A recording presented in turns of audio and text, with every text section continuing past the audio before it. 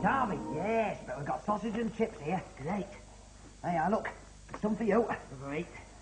There's some for me. Right. Hey, hey, Paul, how come we've only got one sausage? We couldn't afford two sausages, could we? We have to share this one 50-50. 50-50? Right. About there? Yep. Right. There you are, there's your bit. Thank you. There's my bit. Hey, just a minute. There's a job here could be answer to all our problems. Is there really? Yeah. All we've got to do is go down for an interview this afternoon.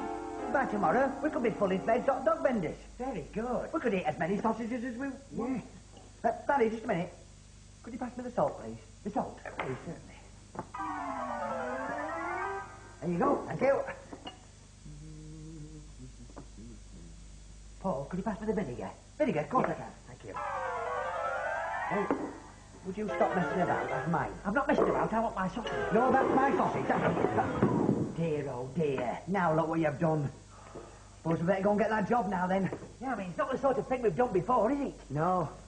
I mean, have we had any experience of food handling, hygiene and preparation? No. Or dealing with the general public in a retail environment? No, we haven't. Or working in a high-pressure, rapid-yield, multifaceted industry? Definitely not. Well, what have we got? We've got the white coat. Here you are. Yeah, but what about my cold? That'll clear up as soon as you get out in the fresh air. Come on. It's a pity about that sausage and chips, you know, because I'm famished. Yes. Well, we could nip down the cafe and get some lunch. Oh, But don't forget, you've got to be nice and smart. I'll do that fussy then. Oh, In the cafe. not in the cafe. You've got to be smart for the interview. Oh, smart for the interview. Right. Hey, that moustache needs a bit of a trim. Do you think so? Get that chair and sit down. Right. The job. Hey, don't spoil my profile. No. There. Hey, did you know you got split ends? No? You have now. Oh, dear, oh, dear. Shown back inside, please. Oh, I'm sorry, sir. I'm afraid we're not. Don't tell me you're not open. No. I insist that you cut my hair. I've got a very important interview this afternoon, and I want to set a good example. So get it cut. Oh, certainly, sir. Hey?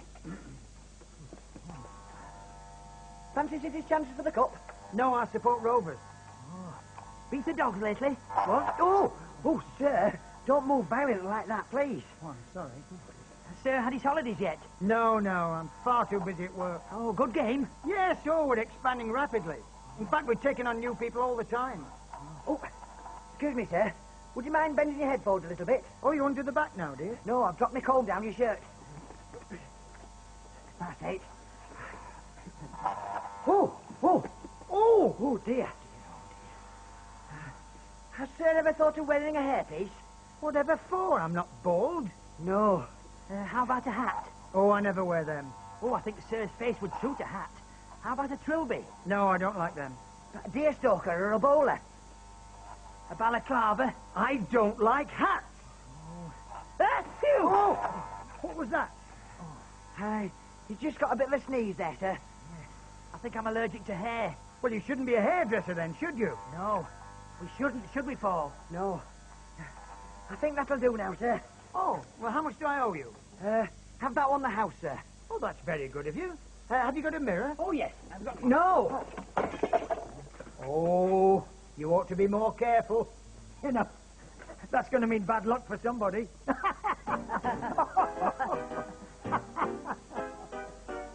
Oh, that was a close shave. Wasn't it?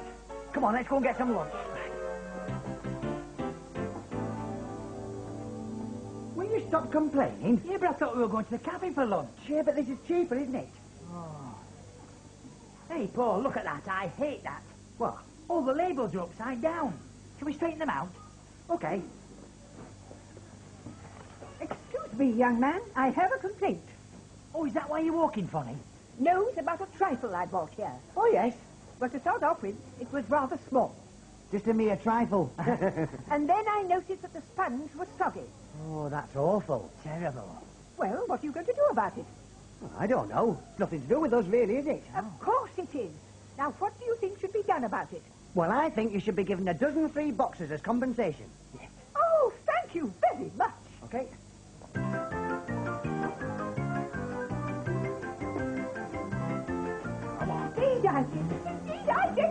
tell you, I was given a compensation.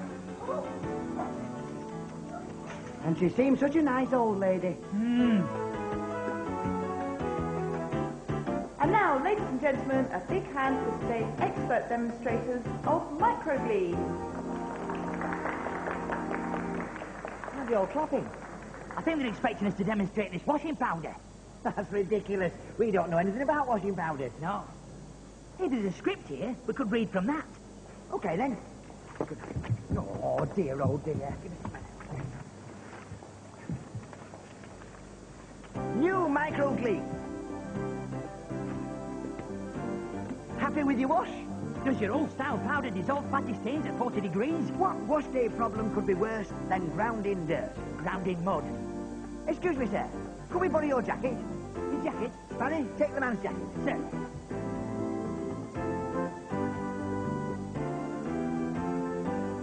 Now put it on the floor. On the floor. Ladies and gentlemen, if you will be so kind, all to jump up and down on the jacket. Don't worry, sir. With new microclean, we'll soon get it clean. We will prove to you that in clinical tests, new improved microclean beats big box brand X.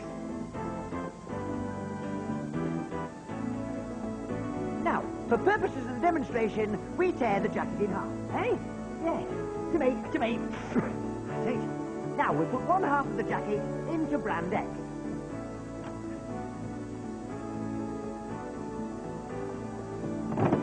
And we put the other half of the jacket into new microclean.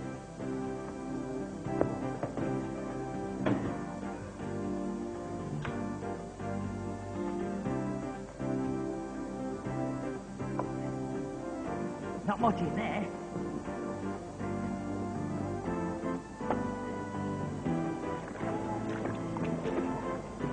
The test begins. And now for the result of the test. As you see, with big box brand X, everything looks nice and clean, but deep down, it is not. It is not. Barry, the microclean. As you see, with microclean, everything comes out superbly clean. Show, four o'clock.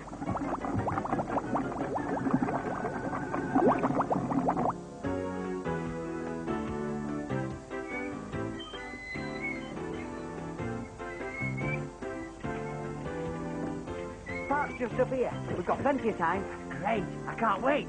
Excuse me, would you mind looking after this for me for a minute? Hey, hey, it's funny you took one look at me and he knew You knew what? that I used to sell ice creams. Did you? Oh, yes. I know everything there is to know about selling ice creams from a cart like this. Oh. This is the famous GSX3 model. Beautifully balanced it is.